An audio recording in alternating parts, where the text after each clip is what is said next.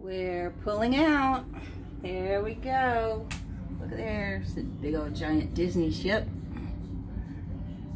We're moving. I want to know when it's po politically correct to throw up. First thing I did when we walked in was shut the windows and David was like, the curtains, I mean, and he was like, what?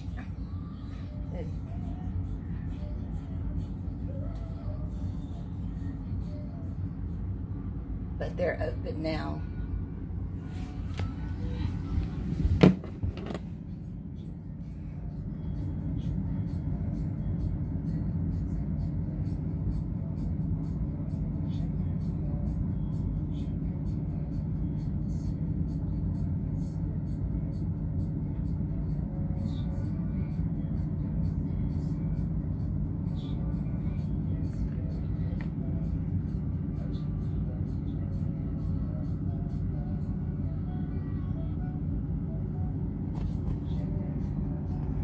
Okay, I don't know what kind of Wi-Fi or connection I'm going to have after we leave, even though I paid for it.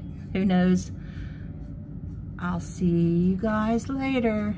If you need to reach the salon, you know, call Amanda. Bye-bye.